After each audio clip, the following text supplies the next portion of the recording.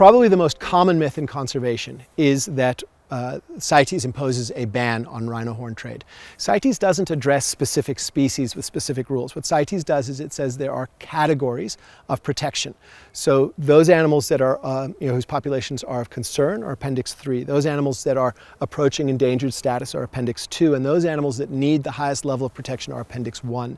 And the same rules apply for all Appendix 1 or all Appendix 2 or all Appendix 3 animals uh, as apply to any of the others. So uh, for instance, elephants, tigers, those are Appendix 1, so are rhino. And the same rules apply to rhino as apply to elephant or as apply to, to tigers. Um, and all those rules say is that it is uh, not permitted to import, the export's actually not that uh, carefully governed, it's not permitted to import Appendix 1 species from the wild for commercial purposes. So those are the three tests. Is it for import, is it from the wild, and is it for commercial purposes?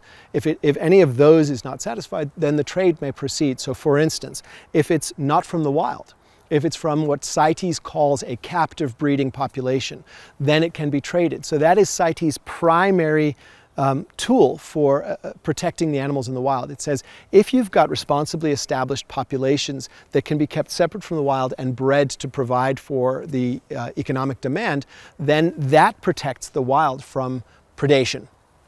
Uh, uh, so that's, that's really the mechanism for rhino because we protect the rhino within private conservation spaces in a way that satisfies CITES' definition of captive breeding.